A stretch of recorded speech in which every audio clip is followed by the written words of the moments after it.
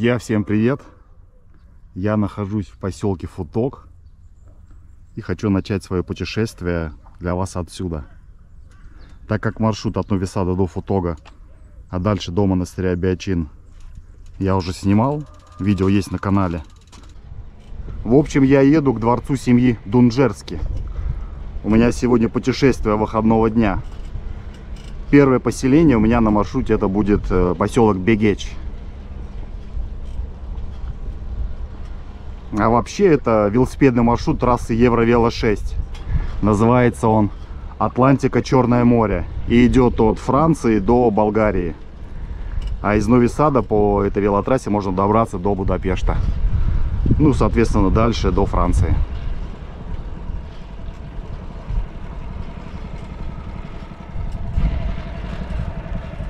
Это вот великолепная церковь. Называется Сердце Иисуса.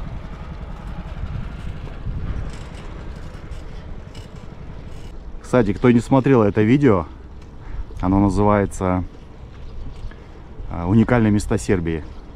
Выходило две части. Оставлю ссылки в описании к ролика и подсказки. Посмотрите.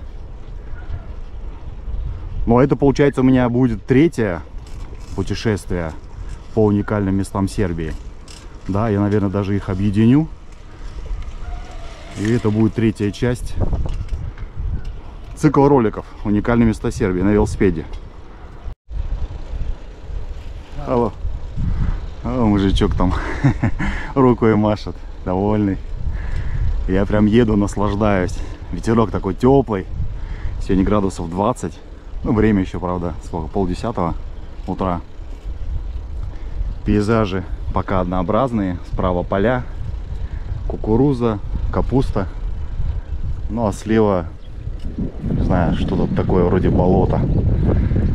А за ним Дунай. Пишут там вон аисты. Камера, наверное, их не возьмет, они прям в кустах там сидят. Погода шикарная. Как говорится, лето не резиновое. Надо пользоваться. Каждый день использовать. Бегеч это пригород Новисада. В его окрестностях в 1967 по 1975 проводились археологические раскопки и были обнаружены остатки пирсового замка Анагрину, датируемый концом 3 века. Это укрепление было одним из немногих римских военных лагерей, построенных на территории Бачки –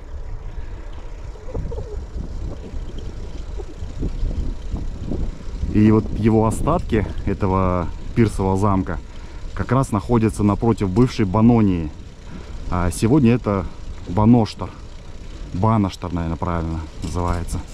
Это поселение находится как раз на противоположной стороне Дуная. Сейчас я к нему подъеду, к Дунаю покажу.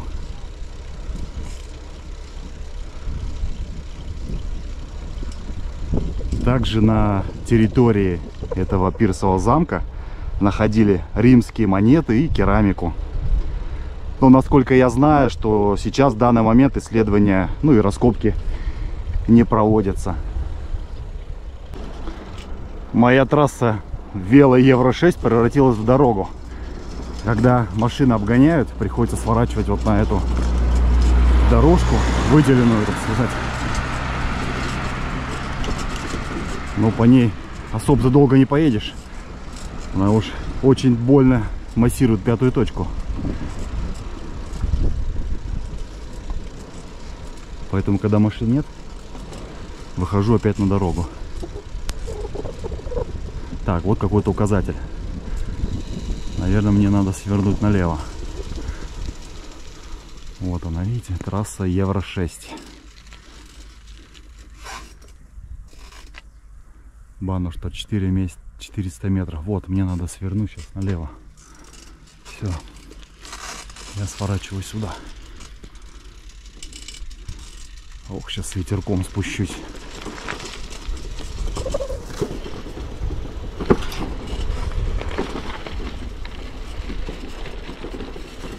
Куда-то меня в кусты. А до рукой управлять не очень-то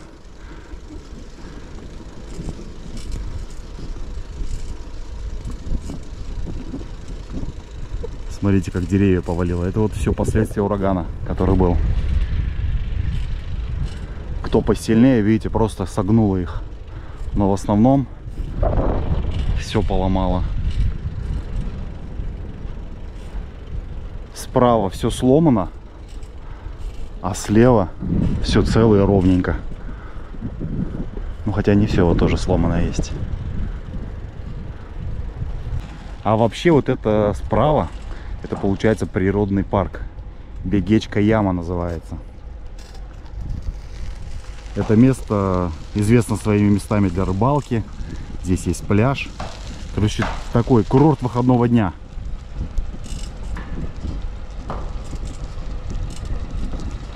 Здесь же есть ресторан.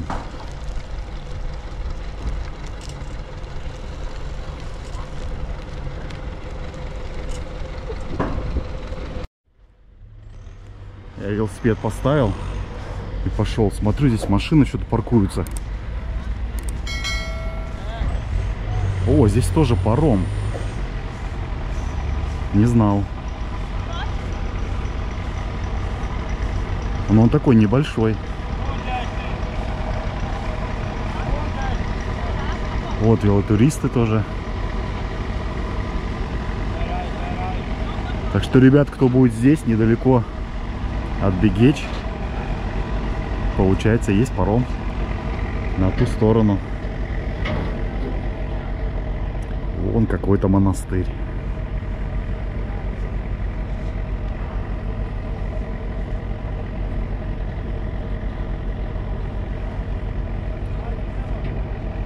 Это и есть на той стороне Банаштар. Получается, что вот, может быть, даже вот здесь раньше когда-то и стояла римский, римский замок стоял. И их пристань. Возможно, я даже гуляю по нему.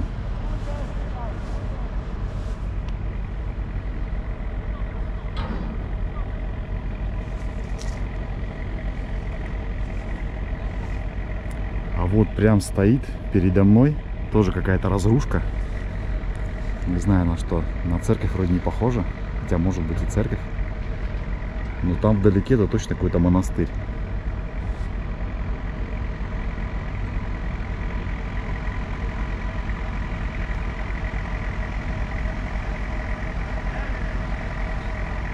Ладно, мне надо подняться назад, вверх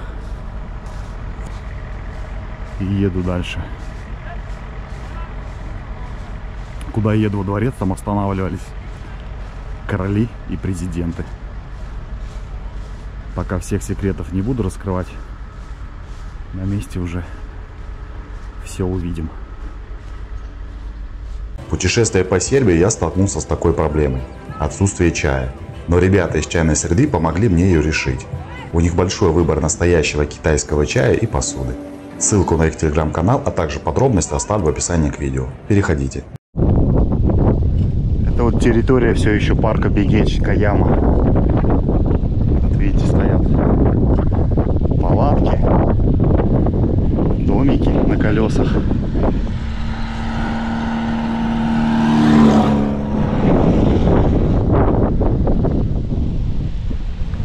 Запах тут, конечно, стоит вообще, воздух свежий. Прям зеленью пахнет. Еще мужик, он траву косит. Так вообще. Ну и некоторые места проезжаешь, пахнет прям э, фруктами. Знаете, инжирными, наверное, вот деревьев. Много здесь. И инжиром пахнет. Так, вот еще один очередной указатель.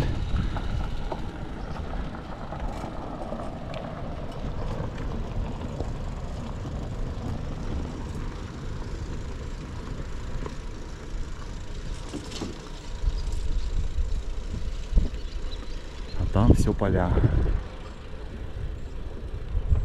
Хотя нет, похоже на камыши.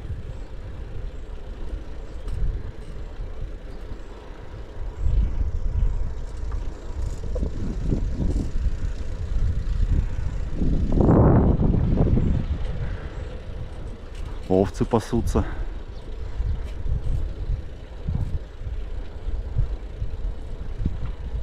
Сейчас где паром снимал, очень много иностранцев. И именно немцев. Такие все пожилого возраста.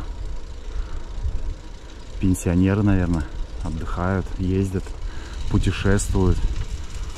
Вот смотрите, овцы. Ой-ой-ой-ой, давайте, что вас не пугать.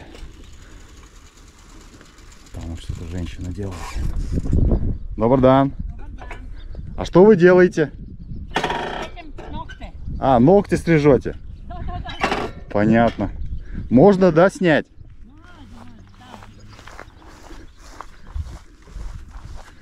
Это ваши овцы, да? Да, да. Ого.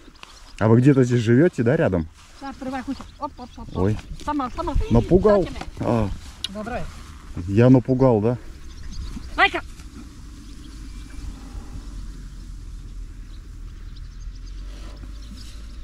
Оп, лепа. Собака, смотрите, побежала. Она прям вообще натасканная, видите? Сейчас она их сюда притащит.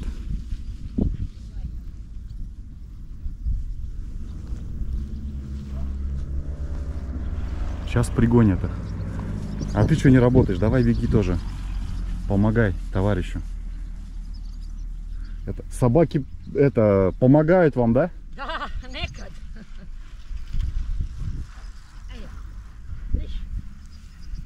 А, вы уже все, или я вам помешал, да?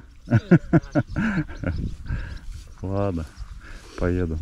Хвала, до видения. До видения. Собаки обучены, все, она их там в угол зажала и караулит, чтобы дальше не бежали. А это стадо потеряло. Все, увидел, увидел. Смотрите, как скачет.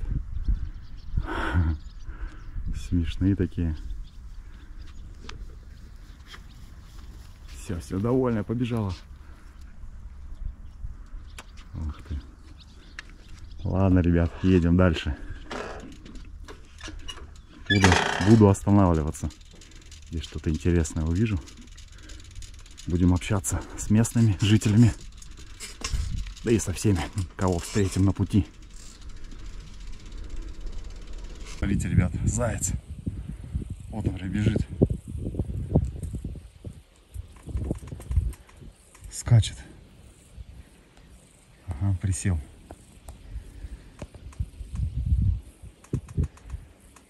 Давай скачи, то тебя не видно. О.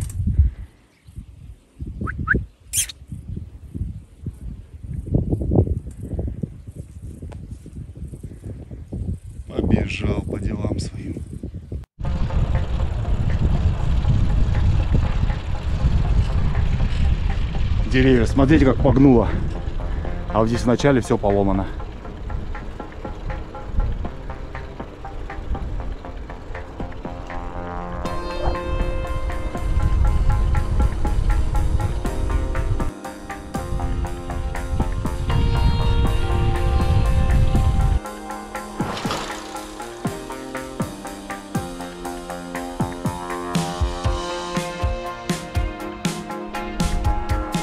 Доехал до пляжа Челарева.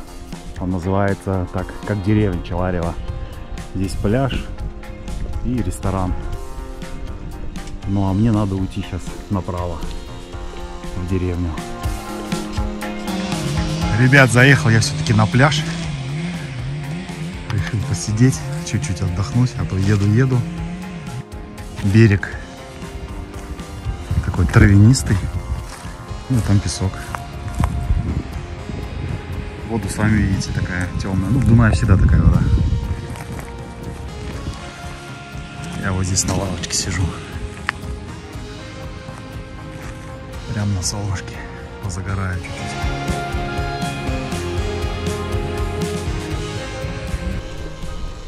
В деревне Челарево проживает около 5000 жителей.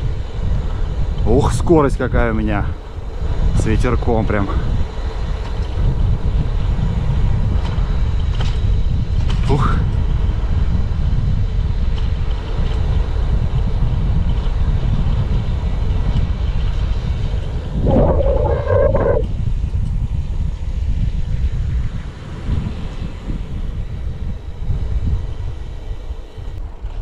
Вот такая дорога ведет в деревню Челарева. Справа от меня там кукурузные поля.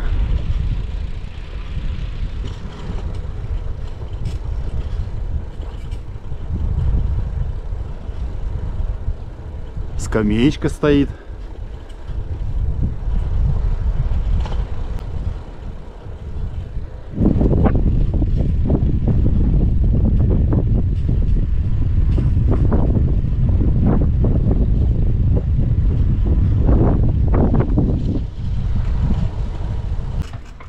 Ребят, я заехал уже в деревню Челарева. Как я сказал, в ней проживает около 5000 жителей. До 1946 года деревня называлась Чиб. И была переименована в честь командира партизан и национального героя Югославии. Здравка Челара. Кстати, в деревне находится пивоварня Лав. Это сербское пиво, бренд сербский.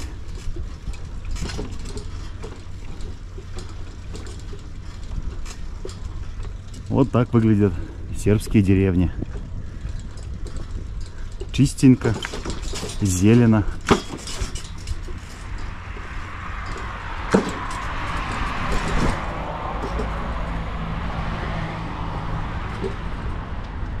Даже вот такие двухэтажные есть дома. Наверное, на двух хозяев.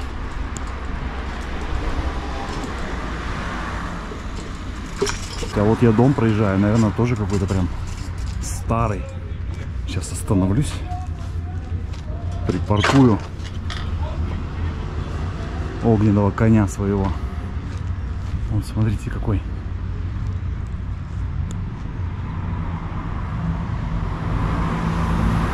А вот там, кстати, на фасаде 1900 то ли 23 то ли 25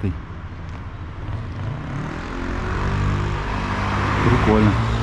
Вот старое здание. А вон. Там осталась табличка. 1925 год. Интересно что здесь внутри? Кафешка наверное. Блин хочу зайти Дан. Хочу посмотреть, что это такое, не знаю. Никого нет. Может это дом чей-то, я ворвался так. Беспардонно. Ну, мне кажется, на кафе похоже больше. Прикольно. Так, ладно, я еду дальше.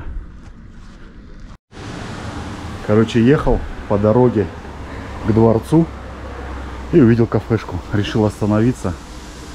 Сейчас поем. Заказал себе плескавицу специал. Это вот это. 350 динар. Сейчас посмотрим. Попробуем ее на вкус. Там работа кипит, смотрите. Дым такой стоит. Котлеты жарят. Сейчас покажу вам. Вон там, видите? Жарят уже. Ух, запах стоит мясной прям. У меня аж слюни текут. Мне осталось совсем чуть-чуть, на самом деле, поехать до этой дороги. По-моему, два перекрестка. И там меня уже ждет дворец.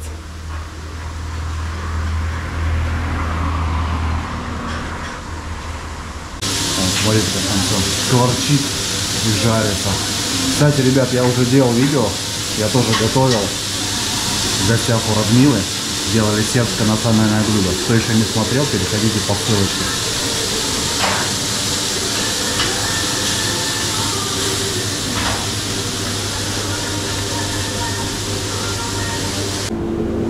Все помало. Мало-мало.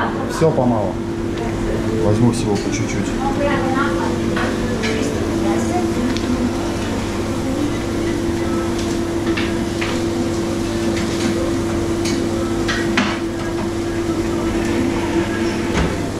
По- Показывайте вас на ютубе. Ти само još tamo nismo bili. Забрал, ребят, я свою плескавицу. Вот так она выглядит изнутри. Сейчас буду пробовать. У меня уже говорю, прям слюни текут от этого запаха. и буду делиться с вами впечатлениями. Довольно-таки так вкусно. Остренько я взял по чуть-чуть всего. И немного спайса, так сказать, острого. Вот прям еще в меру. Котлетка хорошо прожарена. Не сухая.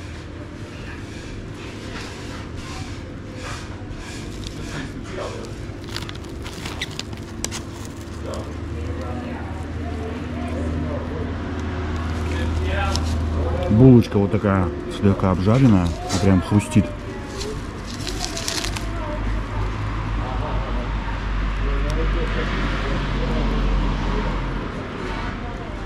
Не спросил, что за мясо. Ну, вкусно. Кто ест, приятного аппетита.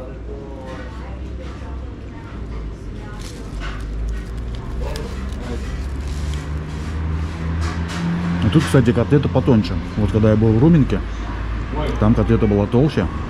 И, соответственно, она была еще сочнее. Не скажу, что это сухая. Но вот так. Я уже почти доел. Очень сытная, большая. Но я справлюсь, думаю. Рыжий конь мой, вернее красный, отдыхает. Погода шикарная. Солнышко, небо голубое. Что еще нужно? Красота. Все, я поел. Сказать, что я объелся, это значит ничего не сказать. Я просто сыт, по-моему, до вечера. Смотрите здесь. Лавден. Раз сколько? Раз, два, три, четыре. Четырехэтажный дом. Не ожидал я в деревне увидеть четырехэтажный дом. Тоже кафешечка.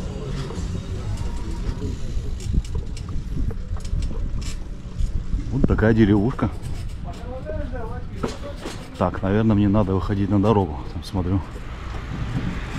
Грузят что-то.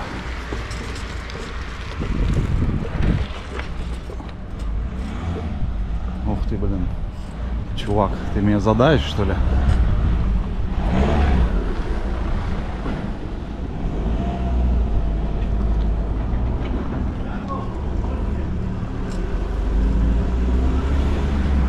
Скорее всего, вот это и есть центр города. О, города, говорю, деревня. Мисара, аптека, кафешки, магазинчики. И впереди уже парк. Придворцовая территория.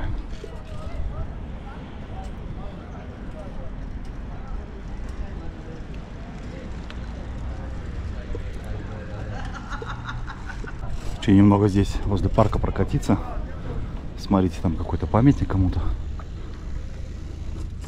Сейчас подъеду к нему. Здравка Челлер. А, вот этот Здравка Челлер, это как раз герой, в честь которого и названо, названо деревья. Слева от меня там школа. Справа где-то должна быть церковь. Церковь, вот, может вот это она и есть. Должна быть Римо-католическая церковь. Да, она и есть. Вот она выглядит. Хочу ближе подъехать. Сейчас подъеду. И потом уже к дворцу поедем. Ощущение, что она не работает. Довольно-таки старая. И, судя по всему, она не ремонтируется. Давно не ремонтировалась.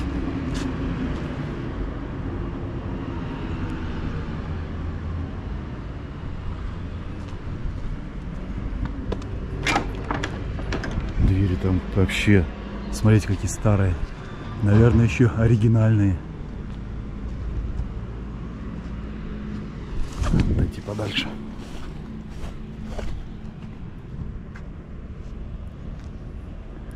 Там ангелы изображены посередине Иисус и... А, это не ангелы. Там он изображен Иисус, там Иисус и там тоже Иисус. И каждая, так сказать, картина что-то означает. Там он, там похоже на какое-то море, что ли.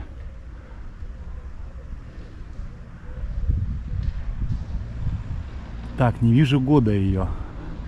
Там вот какая-то надпись. Найду потом в Википедии и прочитаю. Прикреплю ссылочку или описание напишу, что она означает. Ладно, мне надо ехать вот туда. До дворца осталось уже совсем чуть-чуть. Кстати, ребята, а вон и завод Лав пивной, про который я рассказывал.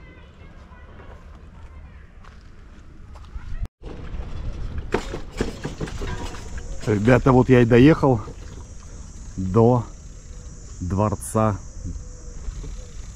Дунджерский. Смотрите, какой лев тут.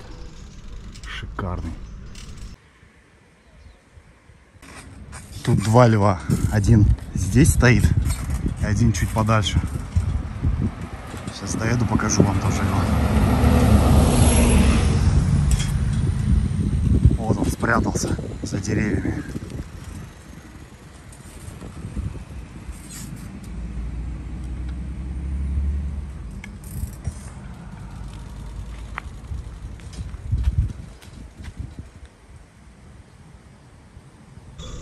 Да, он, конечно же, заброшен.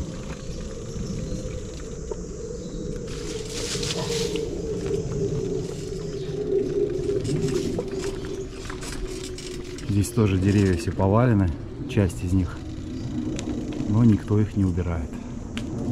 Ладно, не будем о плохом. Лазар Дунжерский купил этот дворец у семьи Безереди в 1882 году. Построен он в стиле классицизма.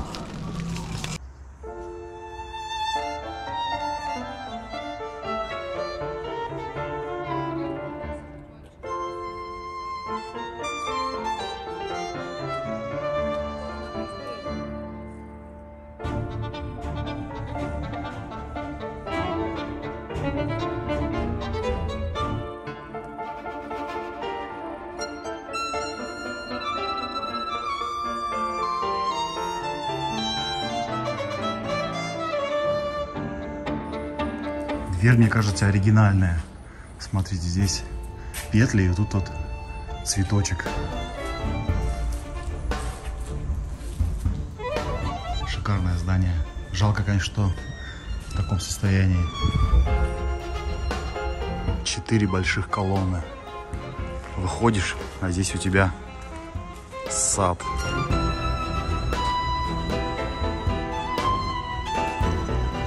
И, кстати, Здесь возле скамеек слева и справа фонари когда-то были. Видите, вот они металлические. Ну, соответственно, плафоны уже кто-то приватизировал. И вот там второй фонарь. Скорее всего, там были какие-то хозпостройки. Вот такой шикарный дом. Реально дворец. А вот сам парк вокруг дворца ценен своей редкой растительностью и экзотикой. Здесь деревья с Ближнего Востока, Африки, Индии. Он сохранил этот э, парк особенности времен семьи Безереди. Это первые владельцы. Впоследствии он был как ну, усовершенствован. Посажены новые деревья во времена Лазаря Дунджерского. Смотрите, какое дерево. Вот я в деревьях ничего не понимаю. Но оно очень красивое. Как вам? Прям на 5 баллов. Ребят, кто не поставил лайк, самое время. Сейчас сюда занырну. Ничего себе стволы. ничего не напоминает. Это как будто бы змеи.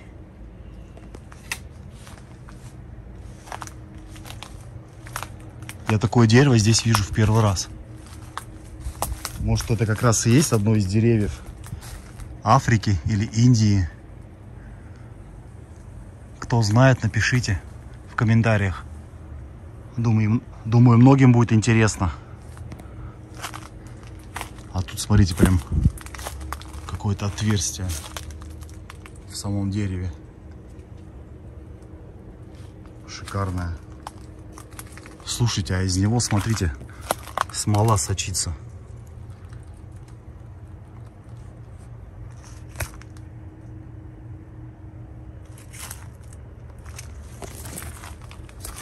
Здесь мох.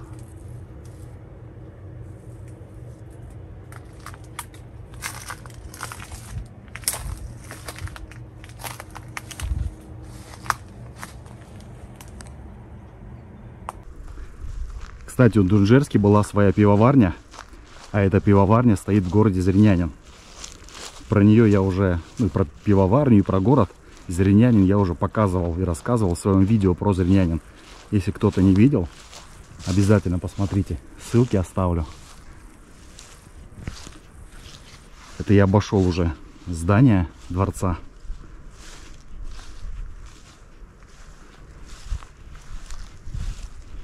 А вот после создания королевства сербов, хорватов и словенцев здесь некоторое время останавливался король Александр Караджорджевич. А после Второй мировой войны с 1947 до середины 1952 года здание дворца принадлежало тогдашнему президиуму правительства, это, э, президиуму правительства Союзной Республики Югославии. В то время в этом здании время от времени останавливался президент Броз Тито.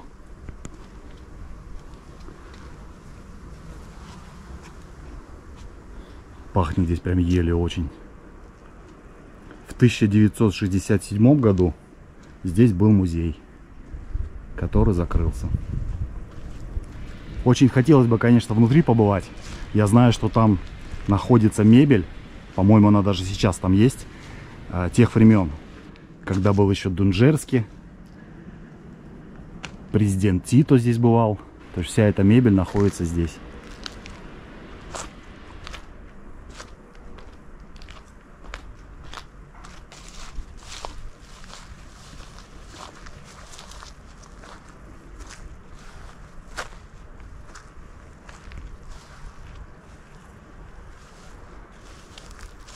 Немного пройдусь по парку. Цветочки какие-то синенькие, голубенькие. Ну что, ребят, на этом буду заканчивать. Спасибо, что досмотрели до конца. Пишите ваши комментарии. Не забывайте подписываться на канал. Это помогает в продвижении роликов и канала. Также можете поддержать канал разово, задонатить через функцию Супер спасибо. Всем пока.